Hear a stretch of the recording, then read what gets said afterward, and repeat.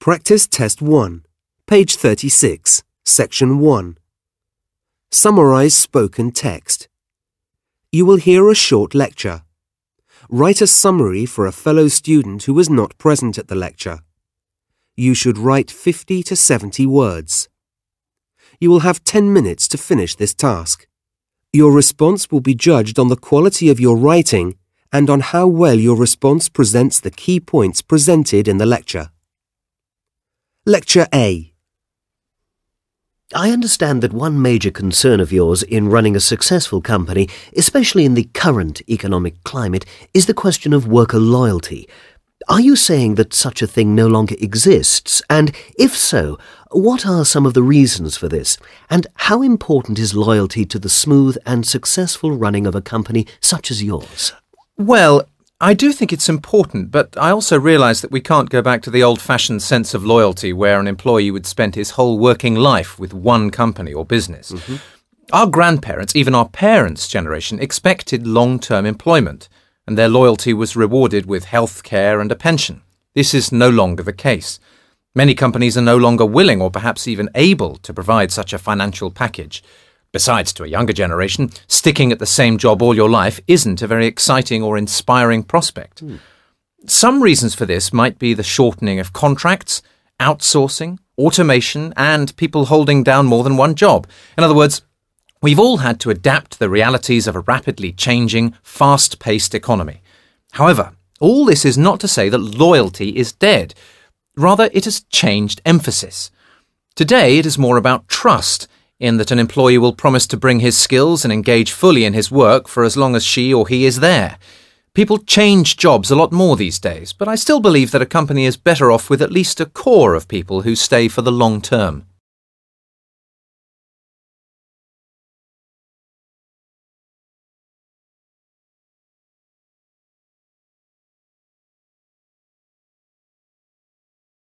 Lecture B I'd now like to turn to the Roman, um, Latin writers of the period. Their achievements in the other arts, architecture, painting, and sculpture, were rather second rate and mostly in imitation of the Greeks. And it's true that Latin writers also wanted to emulate the Greeks and used their writers as models, but somehow the language wouldn't allow it. What I mean to say is, the particular qualities of the Latin tongue made for the excellence of their writings, especially the poetry. For one thing, Latin is capable of great compression. That is to say, it can convey in five or six words what we would need twice the number to say. What also helped Latin writing flourish was the nature of Roman education. Whatever its faults, as they would appear to us, its linguistic and literary emphasis seemed designed to produce orators and writers. A drawback of the system was that education was only available to the richer classes of society, and so Roman literature is mainly a product of those classes. This, in turn, meant that the subject matter was fairly limited and narrow in its social reach, though there were exceptions.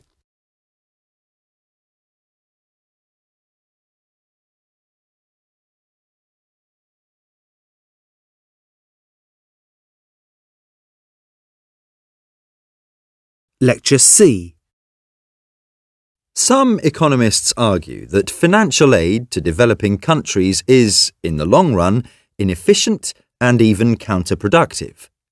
However, there are two main types of aid that we will deal with here.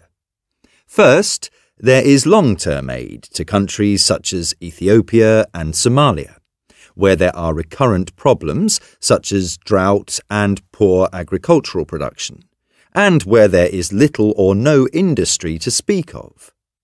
Problems that won't go away with an injection of money. Then there is emergency aid, which also appeals for contributions from the public when a disaster of one kind or another strikes. Recent examples would be the earthquake in Haiti and the tsunami in Japan. In the case of emergency aid, It arrives in the first instance as food, clothing, shelter, and medical aid, all of which are of immediate practical use and great benefit. With countries that have long term developmental problems, just pumping in money is not enough, and, sad to say, a lot of the money doesn't go where it should. What is more important is providing know how, teaching the skills and expertise needed to help develop the economy and social services, such as health, sanitation, and so on.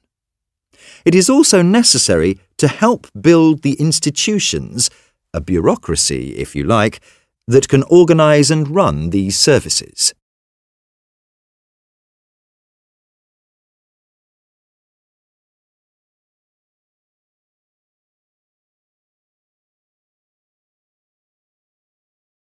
Practice Test 1, page 39, section 2. Multiple choice, choose multiple answers. Listen to the recording and answer the question by selecting all the correct responses. You will need to select more than one response. Recording A. The heyday of the English landscape garden was the 18th century, and it stood for many things the appreciation of natural beauty, of course, but also the idea of a civilized life, good taste, one's personal philosophy, and one's social status. Gardens also, though it is hard for us to credit, became expressions of their owners' political affiliations. Until the picturesque style emerged as part and parcel of the Romantic movement, gardens had been strictly formal, laid out with mathematical precision following the Italian and French examples. There then came a backlash against this rigid formality, led by, among others, the poet Alexander Pope. Pope and his allies argued for a more natural nature.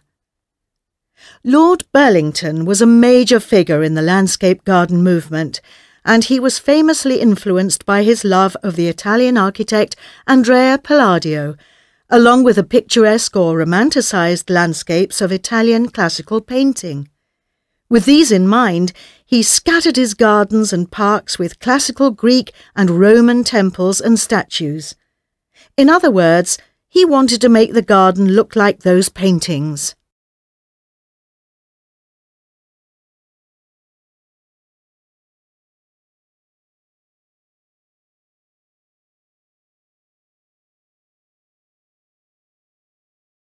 Recording B. Woodblocks used for pictorial illustration became fairly common in 15th century Europe, but had been used long before that for printing designs on textiles. Most of these were simple in design and quite crudely cut, but some were skillfully drawn and cut, while others even contained pictorial imagery. Records show that woodblock printing on fabrics was practiced by the Egyptians as early as 2000 years BC. The oldest existing printed fabric, which is Egyptian, dates from the 4th century. At the same time, the craft seems to have become widely established, even commonplace, elsewhere, for example, in India, Mexico, and Peru, where the same techniques continue to be practiced today. And the technique was almost certainly used by both the Japanese and the Chinese too.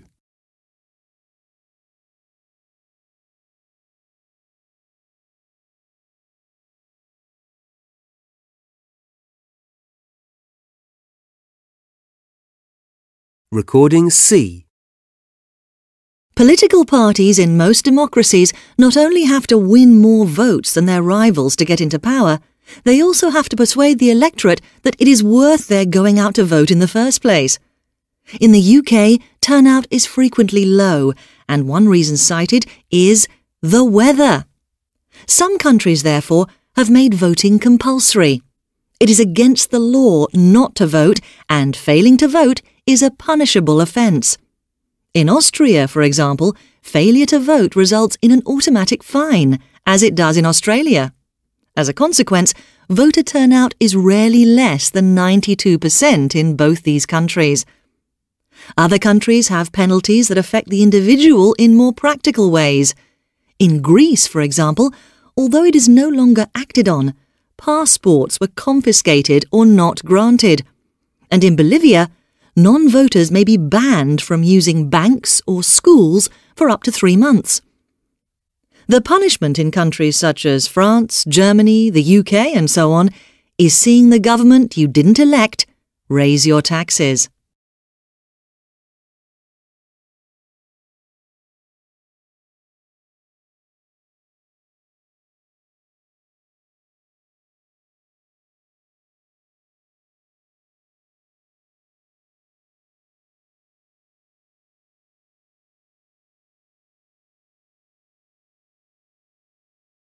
Practice Test 1, page 40, section 2. Fill in the blanks. You will hear a recording. Write the missing words in each blank. Recording A. Almost everyone has heard of the London Stock Exchange, but relatively few know anything about the London Metal and Commodity Exchanges. Yet these markets have a greater influence on world economies because they set global prices for some of the essential raw materials for industry and food manufacture. The LME provides three basic services to the world's non-ferrous metal trade. First, it is a market where large or small quantities of metal of a guaranteed minimum standard can be bought and sold on specific trading days. Second, it acts as a barometer of world metal prices. And third, it is a hedging medium that is, it can help traders get some protection from price fluctuations that occur for economic, political, or financial reasons.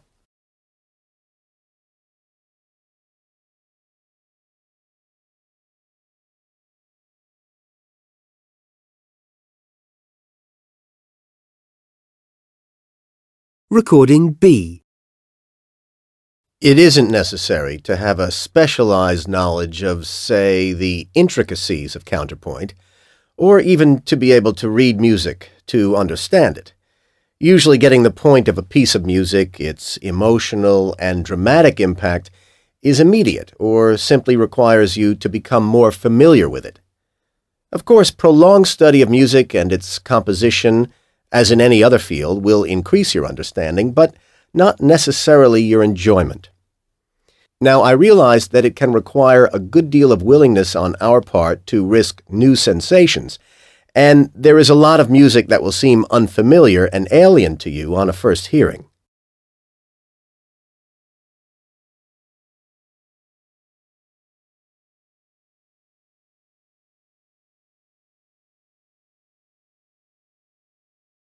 Recording C. Before farming was introduced into Scotland, people lived by hunting, fishing, and gathering wild foodstuffs. This way of life meant that they usually didn't settle permanently in one place, but were to an extent nomadic, moving about in search of a livelihood, perhaps returning to the same places at certain times of the year. It is believed that the islands of Orkney were known to these people, but so far only a few flint tools have been found to verify this. This is because coastal erosion has destroyed many ancient sites, and these may have contained relics of some of these earliest pioneering colonists.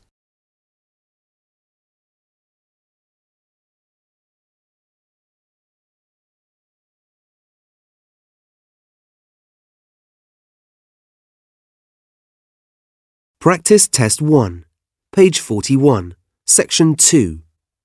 Highlight correct summary. You will hear a recording. Choose the paragraph that best relates to the recording.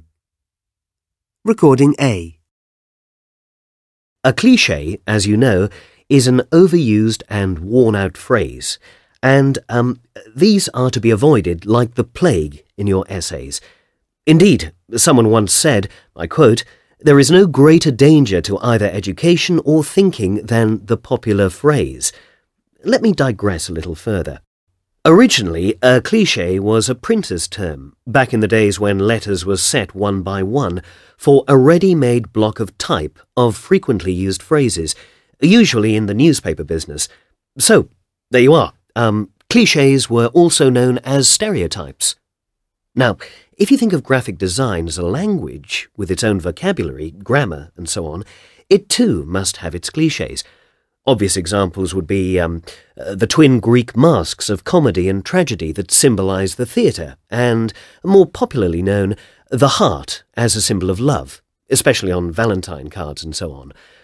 Far from being a terrible fault, as it would be in literature, the visual cliche is essential in the world of graphic communication. This is certainly true when it comes to advertising and propaganda. The visual cliche can give immediate life to an idea and a clear meaning to what could be a mere abstraction.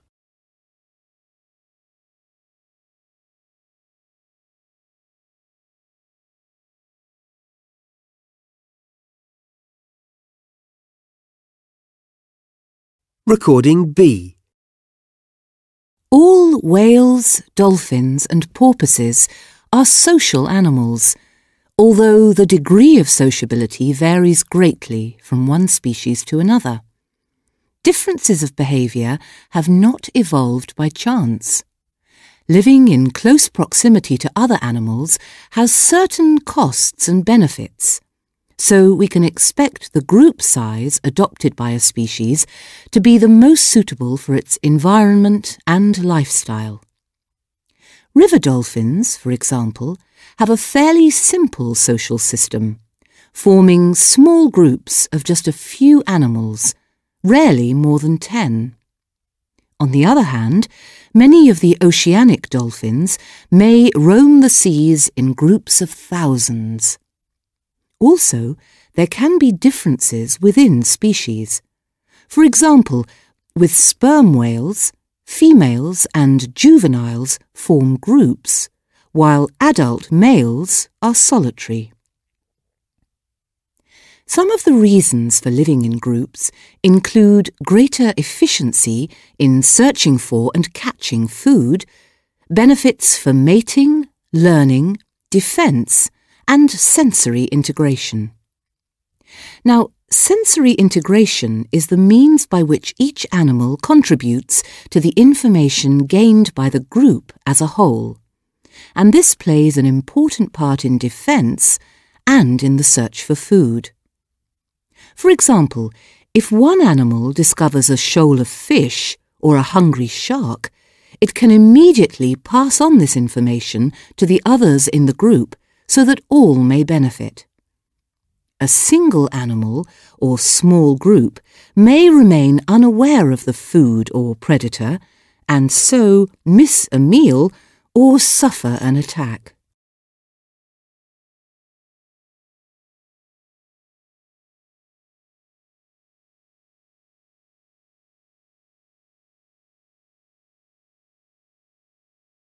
Practice Test 1, page 44, section 2. Multiple choice. Choose single answer.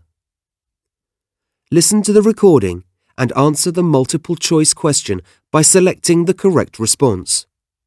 Only one response is correct. Recording A.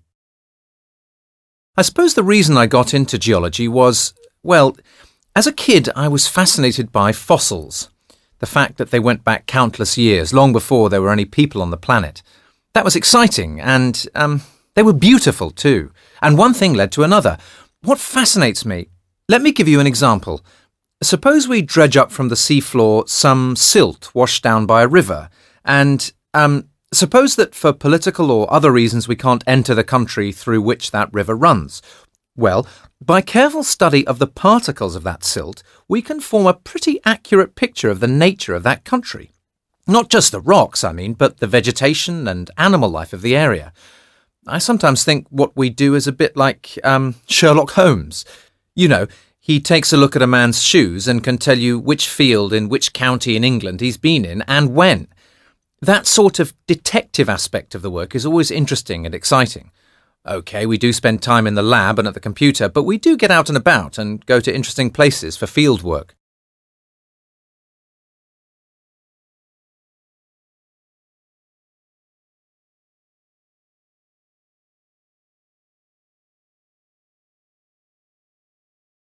Recording B.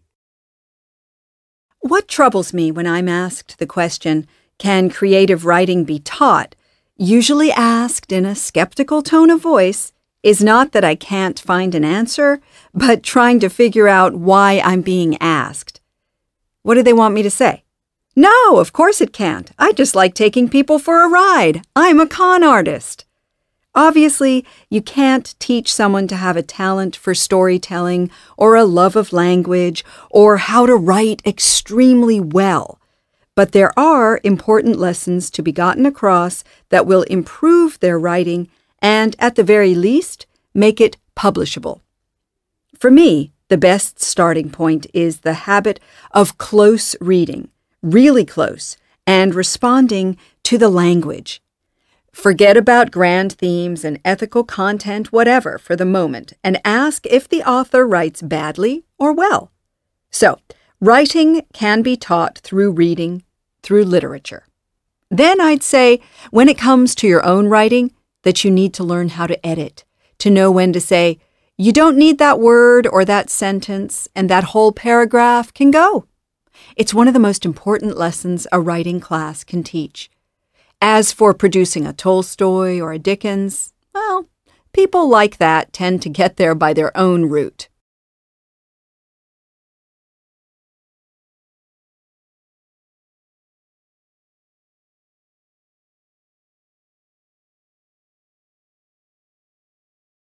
Recording C.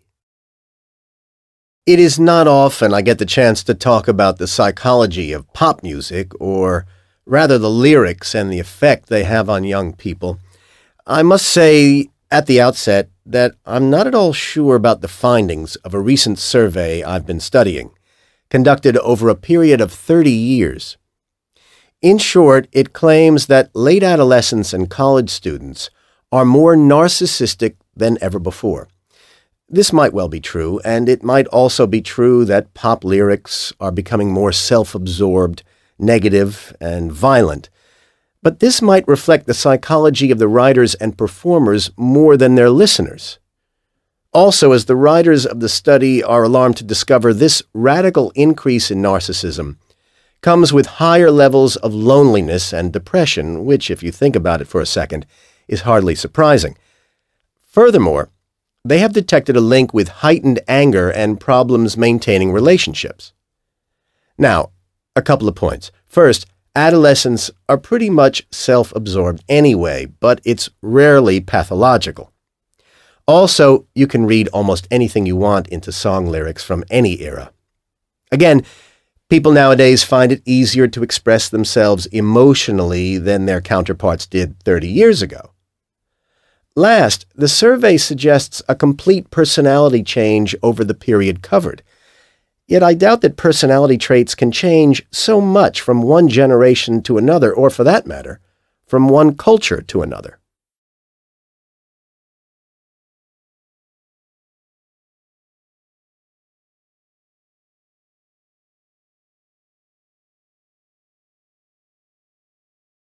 Practice Test 1, page 45. Section 2. Select missing word. You will hear a recording about the brain. At the end of the recording, the last word or group of words has been replaced by a beep. Select the correct option to complete the recording. Recording A. We learn most about ourselves and the way we function, both physically and mentally, when things go wrong. For a long time, it was thought that the brain acted as a whole in governing the body's functions. Then, in 1861, Paul Broca, a French anatomist and anthropologist, discovered that different parts of the brain perform different functions. After carrying out a post mortem examination on a patient who had had a severe speech impediment, he discovered, as he had expected, damage to a section of the left frontal lobe of the brain.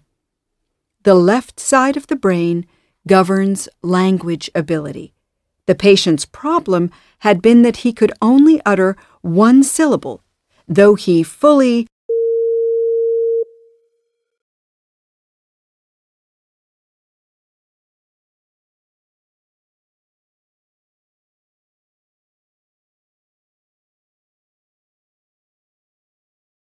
You will hear a recording about money. At the end of the recording, the last word or group of words has been replaced by a beep. Select the correct option to complete the recording. Recording B. The Chinese were, as far as we know, the inventors of paper money, and because it was so easy to move around compared with coins, it was named flying money. They were also the first to experience an economic problem which has become all too familiar. By the 12th century, there was enough money in circulation to cause serious inflation. In Europe, it wasn't until about 1400 that bankers in Spain and Italy began to honour bills of exchange, which were a kind of private paper money not in general use. They were documents used by those involved in a business transaction in which payment was made through a third party to avoid the cost of foreign exchange. However, it is the Swedes who are generally credited with producing the first proper European bank.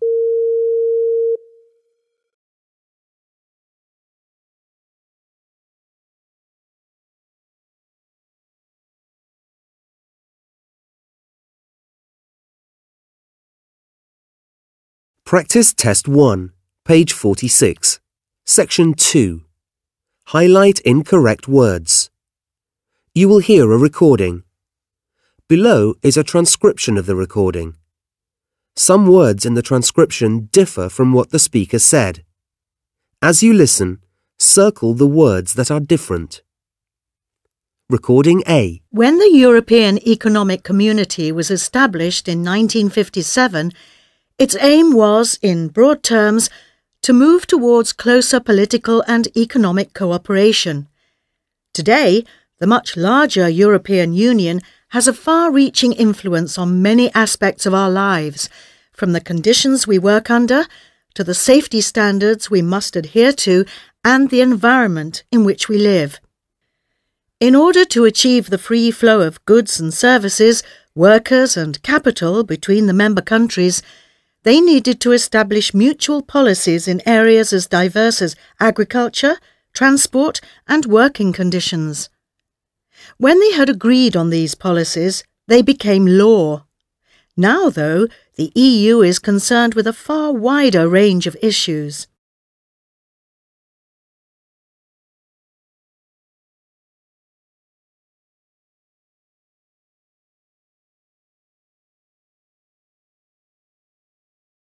Recording B. Stem cells are the body's master cells, the raw material from which we are built. Unlike normal body cells, they can reproduce an indefinite number of times and, when manipulated in the right way, can turn themselves into any type of cell in the body. The most versatile stem cells are those found in the embryo at just a few days old. This ball of a few dozen stem cells eventually goes on to form everything that makes up a person. In 1998, James Thomson announced that he had isolated human embryonic stem cells in the laboratory. At last, these powerful cells were within the grasp of scientists to experiment with, understand, and develop into fixes for the things that go wrong.